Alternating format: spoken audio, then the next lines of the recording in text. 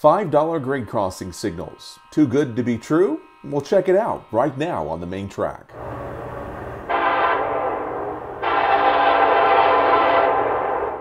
Hey everyone, my name is Mike and welcome aboard the main track. It's great to have you with us today. In my last episode, which I'll link right above, I told you about some big plans for a switching layout that I was going to be constructing in my office studio, and that is where we're at today. And right here behind me, you can see some of the progress I've made so far. Got some of the bench work done, and I also have just some trains laid out on the top right there. So I've been working a little bit on this new layout here, and also my main layout. One of the things I've been doing in recent days is constructing a new grade crossing, and I was able to find some really neat, very cheap grade crossing signals. Well, to be honest with you, this will have to be part one of two because I'm still waiting on the circuit board controllers for these little signals to get to me. I had that on order from the manufacturer over in China, and we all know how the supply chain issues have been recently, so when I finally get that in the mail, we'll be able to wire these up and turn on the LED lights and see what these little signals are made of. But for now, I wanted to show you what I have done so far on that crossing with the signals installed, give you an idea of what we're shooting for here.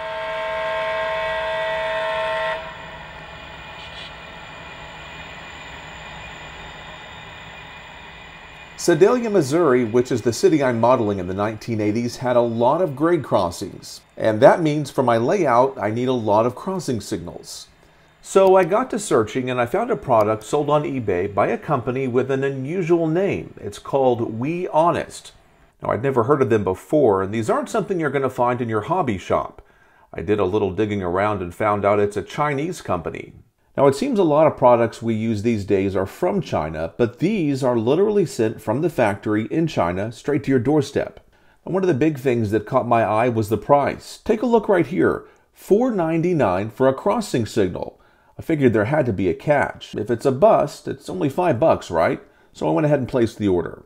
And as you can see, they've made the cut so far, and I've got them protecting my crossing on 5th Street I've also got some set up on Ohio Avenue at 16th Street. It's an unusual setup that I've constructed, modeling a spot where the Katy main line slices right through that intersection.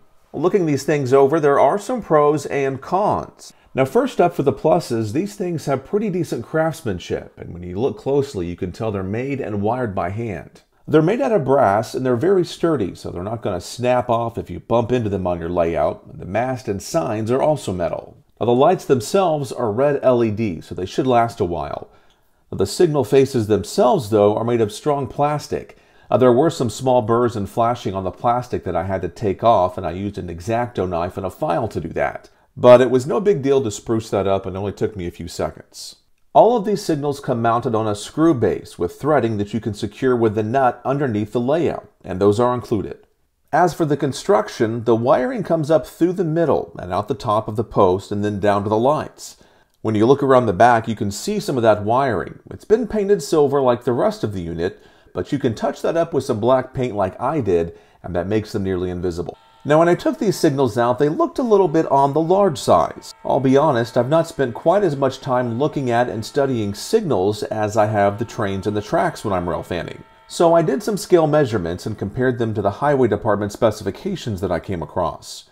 And lo and behold, these things are very close. I think my measurements showed these things might have been about six inches too big, but it's nothing that you're going to be noticing with your eyes. Now, when you're on eBay, it's important to know what you're ordering. The WeHonest listing doesn't provide a lot of details. It has its HO scale signals listed in 2 inches or 3 inch versions. And you'll want to get the 2 inch versions. This right here is the 3 inch one. And you can see there's no way that's going to fit scale-wise on an HO scale layout. It looks more along the lines of O or S scale. Now for the crossing scene itself, as with all of my streets on the layout, I use Rix Products roadway sections. Now these are meant for the bridge decks for the kits Rick's has, but they make great concrete streets. For the wooden crossing surfaces themselves, I use the ones made by Woodland Scenics. Blair Line also has some nice ones. First, I put down some basic scenery, and then I marked out where I wanted the crossing signals to go, and I put a gravel base down just like the prototype. I drilled my hole, fed the wires through, and the signal slid right in.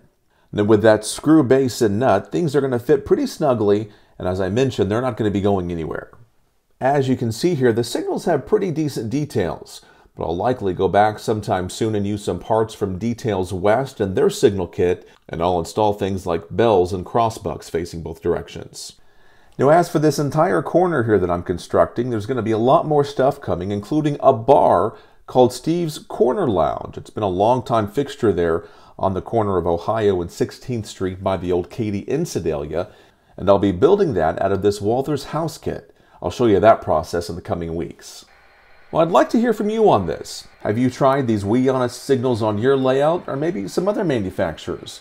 Let me know in the comments down below and I'll look forward to hearing about your experience. So as I mentioned, we'll be able to do part two of this crossing signal series once I get that circuit board controller in the mail. I'll have a few busy afternoons ahead of me wiring these all up on the main layout. And when we get to that point, I will also have a signalized crossing here for Highway 13 on the switching layout. Until then, we'll see you next time right here on the main track. Thanks for joining us.